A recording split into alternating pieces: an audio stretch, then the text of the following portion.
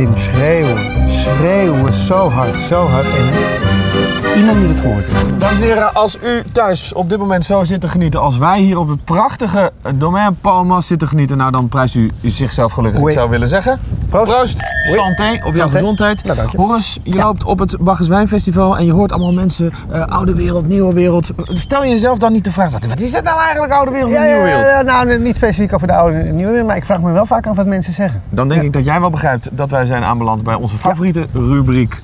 Vragen over wijn die je eigenlijk nooit durfde te stellen. Ja, met eh, vandaag de vraag, wat is de oude wereld en wat is de nieuwe wereld?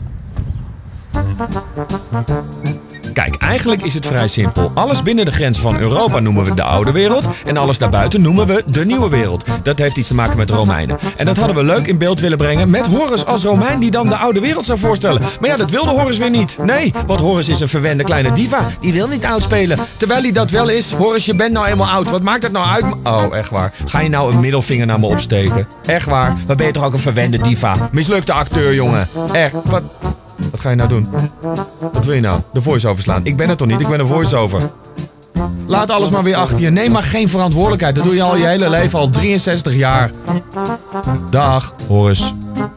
Loop maar weg op je slipper. Met je laken.